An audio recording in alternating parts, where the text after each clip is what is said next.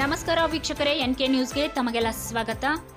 ಬೈಲಹೊಂಗಲ ಪಟ್ಟಣದಲ್ಲಿ ಮತದಾನ ಜಾಗೃತಿ ಜಾಥಾ ಕಾರ್ಯಕ್ರಮ. ಪಟ್ಟಣದ ಚೆನ್ನಮ್ಮ ವೃತ್ತದಿಂದ ಸಂಗೊಳ್ಳಿ ರಾಯಣ್ಣ ವೃತ್ತದವರೆಗೆ ಮತದಾನ ಜಾಗೃತಿ ಜಾಥಾ ಕಾರ್ಯಕ್ರಮ ನಡೆಯಿತು. ಈ ಕಾರ್ಯಕ್ರಮದಲ್ಲಿ ಬೈಲಹೊಂಗಲ ತಾಲೂಕಾ ಆಡಳಿತ ಮಂಡಳಿಯ ಅಧಿಕಾರಿಗಳು, ಚುನಾವಣಾ ಅಧಿಕಾರಿಗಳು ಹಾಗೂ ಕಿತ್ತೂರು ರಾಣಿ ಚೆನ್ನಮ್ಮ ಮಹಾವಿದ್ಯಾಲಯದ ಶಿಕ್ಷಕ ವೃಂದ ಹಾಗೂ ವಿದ್ಯಾರ್ಥಿಗಳು ಭಾಗವಹಿಸಿದ್ದರು. ಚೆನ್ನಮ್ಮ ವೃತ್ತದಿಂದ ಜಾಥಾ ಮೂಲಕ ವಿವಿಧ ಘೋಷಣೆ ಕೂಗುವ ಮೂಲಕ ಮತದಾರರಲ್ಲಿ ಮತದಾನ ಜಾಗೃತಿಯನ್ನ ಮೂಡಿಸಲಾಯಿತು. ಸಂಗೊಳ್ಳಿ ರಾಯಣ್ಣ ವೃತ್ತದಲ್ಲಿ ಅಧಿಕಾರಿಗಳು ಮಾತನಾಡಿ, ಮತದಾನ ನಮ್ಮ ಸಂವಿಧಾನದ ಹಕ್ಕು. ಎಲ್ಲರೂ ತಪ್ಪದೆ ಮತದಾನ ಮಾಡಿ ಪ್ರಜಾಪ್ರಭುತ್ವ ವ್ಯವಸ್ಥೆ ಗಟ್ಟಿಗೊಳಿಸಬೇಕಾಗುತ್ತದೆ. ಭಾರತೀಯ ಚುನಾವಣಾ ಆಯೋಗ ಹಾಗೂ ಜಿಲ್ಲಾ ಚುನಾವಣಾ ಅಧಿಕಾರಿಗಳು ಈ ಚುನಾವಣೆ ಯಶಸ್ವಿ ಮಾಡಲು ಅನೇಕ ವ್ಯವಸ್ಥೆ ಮಾಡಿಕೊಂಡಿದ್ದು, ಎಂಬತ್ತು ವರ್ಷದ ಮೇಲ್ಪಟ್ಟವರಿಗೆ, ಅಂಗವಿಕಲರಿಗೆ ಪೋಸ್ಟಲ್ ಬ್ಯಾಲೆಟ್ ವ್ಯವಸ್ಥೆ ಮಾಡಿಕೊಂಡಿದ್ದು, ಈಗಾಗಲೇ ಜನರಿಗೆ ವೋಟರ್ ಐಡಿ ಕೊಟ್ಟಿದ್ದು, ಹೆಸರು ಖಾತರಿಪಡಿಸಿಕೊಳ್ಳಬೇಕು. ಮೊಬೈಲ್ ಆ್ಯಪ್ ಮೂಲಕ ಹೆಲ್ಪ್ಲೈನ್ ತೆರೆದಿದ್ದು, ಇದರ ಸದುಪಯೋಗ ಪಡಿಸಿಕೊಳ್ಳಬೇಕೆಂದು ಈ ಸಂದರ್ಭದಲ್ಲಿ ತಿಳಿಸಿದರು.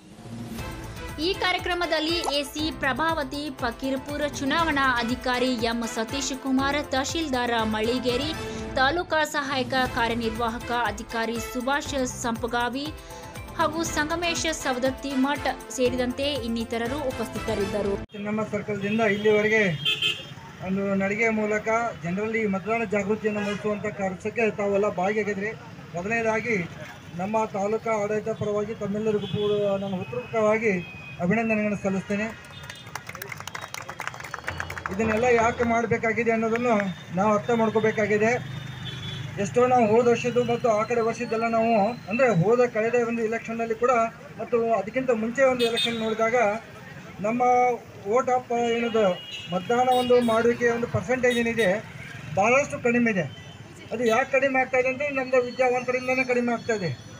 ಇವತ್ತು ಹಳ್ಳಿಗಳಲ್ಲಿ ನೋಡಿದ್ರೆ ನಾವು ಎಲ್ಲ ಪೋಲಿಂಗ್ ಸ್ಟೇಷನಲ್ಲಿ ಅಲ್ಲಿ ಎಂಬತ್ತು ಎಂಬತ್ತೈದಷ್ಟು ಮತದಾನ ಆಗ್ತದೆ. ಬಟ್ ನಮ್ಮ ಸಿಟಿಯಲ್ಲಿ ನೋಡಿದಾಗ ಕೇವಲ ಅರವತ್ತು, ಅರವತ್ತೈದು, ಎಪ್ಪತ್ತರ ತನಕ ಮಾತ್ರ ಮತದಾನ ಆಗ್ತದೆ.